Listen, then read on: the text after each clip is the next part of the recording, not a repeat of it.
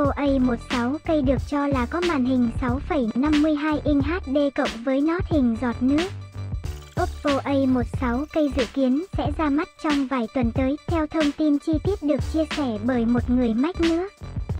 Điện thoại thông minh này vẫn chưa được Oppo chính thức công bố trong nước. Nhưng dò dỉ mới nhất cho thấy điện thoại thông minh Oppo sắp tới sẽ được ra mắt vào tuần đầu tiên hoặc tuần thứ hai của tháng riêng.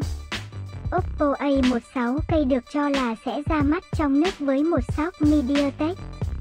Điện thoại thông minh cũng được cho là có màn hình giọt nước HD cộng 6,52 inch.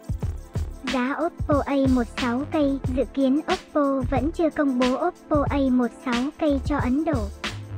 Điện thoại thông minh có giá 6.999 peso Philippines khoảng 10.350 rupee Ấn Độ tại Philippines, nơi nó được ra mắt vào tháng 11. Điện thoại thông minh có thể được cung cấp với một mức giá tương tự ở Ấn Độ. Thông số kỹ thuật của Oppo A16K dự kiến theo báo cáo của 91 Mobile trích dẫn lời khuyên của Mukul Sama Oppo A16K sẽ được cung cấp sức mạnh bởi MediaTek Helio G35 sóc 8 lõi. Kết hợp với 3GB RAM và 32GB dung lượng lưu trữ tại Ấn Độ. Điện thoại thông minh được cho là chạy trên viên pin 4230mAh với hỗ trợ sạc ở công suất 10W qua cổng USB Type-C. Điện thoại thông minh được trang bị màn hình 6,52 inch HD cộng với mật độ điểm ảnh 269 pixel trên inch và thiết kế nót kiểu giọt nước để chứa camera trước. Ở mặt trước camera sau. Oppo A16 cây được cho là có camera chính 13 megapixel cùng với ống kính phụ 8 megapixel.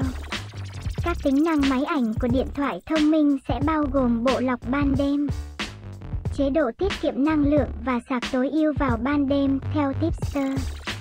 Các thông số kỹ thuật của camera selfie vẫn chưa bị dò gì. Về mặt kết nối, Điện thoại thông minh được cho là có hỗ trợ Wi-Fi băng tần kép Bluetooth 5.0 cũng như rắc cắm tai nghe 3,5mm theo báo cáo. Điện thoại thông minh được cho là chạy trên ColorOS 11.1 dựa trên Android 11. Những thông tin chú ý khác chúng tôi sẽ cập nhật bài viết lần sau. Rất mong sự ủng hộ của các bạn. Chúc các bạn vui vẻ. Xin chào, chia sẻ hữu ích nhé.